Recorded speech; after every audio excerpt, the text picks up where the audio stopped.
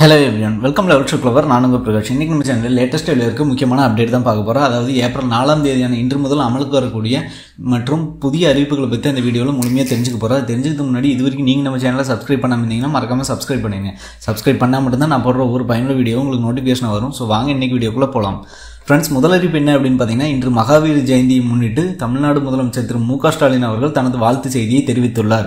மேலும் மகாவீரன் போதனைகளை நெஞ்சில் நிறுத்தும் நாள் என முதலமைச்சர் திரு மு ஸ்டாலின் வாழ்த்து தெரிவித்துள்ளார். அதுக்கடுத்து பார்த்தீங்கன்னா தஞ்சாவூர் மாநகராட்சியின் முதல் முறையாக மாநகர சேவைகள் மற்றும் புகார்களை தெரிவிக்கும் கியூஆர் கோடு ஸ்கேன் வசதியை மேயர் ராமநாதன் தொடங்கி வைத்தார் என்பது குறிப்பிடத்தக்கது. அதுக்கடுத்து பார்த்தீங்கன்னா எதிர்க்கட்சிகளின் அமளியால் நாடாளுமன்ற நடவடிக்கைகள் நாளை வரை ஒத்திவைக்கப்பட்டுள்ளது குறிப்பிடத்தக்கது. அதுக்கடுத்து பார்த்தீங்கன்னா பிரதமர் நரேந்திர மோடி வரும் ஏப்ரல் எட்டாம் தேதி தமிழகம் வருகை தருகிறார். சென்னை மற்றும் கோவை இடையேயான வந்தே பாரத் ரயில் சேவையை தொடங்கி வைப்பது குறிப்பிடத்தக்கது. பிரதமர் மோடி அதன்பின் சென்னை விமான நிலையம் புதிய முனை கட்டடத்தை திறந்து வைக்கவும் உள்ளார் என்று அதில் குறிப்பிட்டுள்ளது. அதுக்கடுத்து பார்த்தீங்கன்னா ராகுல் காந்தி அவர்கள் தாக்கல் செய்த மேல்முறையீட்டு மனு மீதான விசாரணையை வருகிற ஏப்ரல் பதிமூணாம் தேதி மீண்டும் விசாரணைக்கு வருகிறது. முன்னதாக ராகுல் காந்திக்கு குஜராத்தில் காங்கிரஸ் தொண்டர்கள் வரவேற்பு அளித்தனர் என்பது குறிப்பிடத்தக்கது. அதுக்கடுத்த அறிவிப்பாக பார்த்தீங்கன்னா இன்று மகாவீர் ஜெயந்தியை முன்னிட்டு வண்டலூர் உயிரியல் பூங்கா வழக்கம் போல் செயல்படும் என்றும் இதேபோல் அண்ணா உயிரியல் பூங்காவும் வழக்கம் போல் செயல்படும் என்றும் நிர்வாகம் தெரிவித்துள்ளது.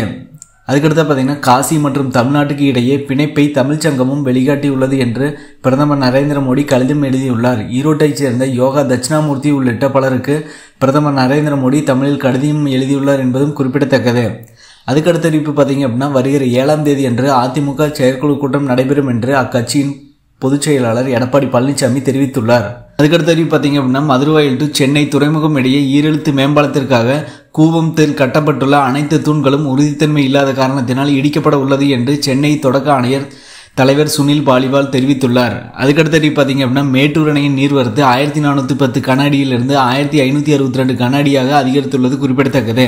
அதுக்கடுத்தடி பார்த்தீங்க அப்படின்னா இந்த ஆண்டு சமயபுரம் மாரியம்மன் கோவில் சித்திரை திருவிழா வரும் ஏப்ரல் பதினெட்டாம் தேதி நடைபெற உள்ளது இதனை அடுத்து வரும் ஏப்ரல் பதினெட்டாம் தேதி திருச்சி மாவட்டத்திற்கு உள்ளூர் விடுமுறை அளிக்கப்படுவதாக அம்மாவட்ட ஆட்சியர் பிரதீப் குமார் அறிவித்துள்ளார்.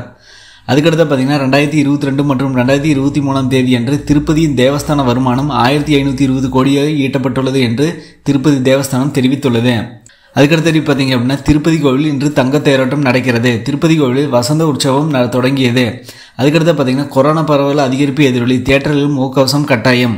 அதுக்கடுத்து பார்த்தீங்கன்னா உலகின் சக்தி வாய்ந்த தலைவர்கள் பட்டியலில் பிரதமர் நரேந்திர மோடி மீண்டும் முதலிடம். அதுக்கடுத்தபடி பார்த்தீங்கன்னா மகிழ்ச்சியான நாடுகள் பட்டியல் இந்தியாவுக்கு நூற்றி இருபத்தாறாவது இடம். தொடர்ந்து ஆறு ஆண்டுகளாக பின்லாந்து முதலிடத்தில் இருக்கிறது குறிப்பிடத்தக்கது. அதுக்கடுத்து பார்த்தீங்கன்னா பெட்ரோல் மற்றும் டீசல் விலை ரெண்டு ரூபாய் அதிகரிப்பு. ஷாக்கில் கேரள மக்கள். அதுக்கடுத்து பார்த்தீங்கன்னா இந்தியாவில் வேலைவாய்ப்பின்மை விகிதம் அதிகரித்துள்ளதாக இந்திய பொருளாதார கண்காணிப்பு மையம் தெரிவித்துள்ளது.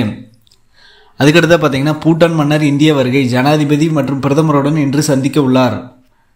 அதுக்கடுத்து நியூஸ் பார்த்தீங்கன்னா ரயில்களில் மூத்த குடிமக்களுக்கு மீண்டும் சலுகை அளிக்க வேண்டும் என பிரதமர் நரேந்திர மோடிக்கு கெஜ்ரிவால் கடிதம் எழுதியுள்ளார். அதுக்கடுத்து அறிவு பார்த்தீங்க அப்படின்னா டிக்டாக் செயலிக்கு ஆஸ்திரேலிய அரசு தடை விதித்துள்ளது குறிப்பிடத்தக்கது. அதுக்கடுத்து நியூஸ் பார்த்தீங்கன்னா காங்கோவில் ஏற்பட்ட நிலச்சரிவில் சிக்கி இருபது பேர் பலியானது பெரும் பரபரப்பை ஏற்படுத்தியுள்ளது.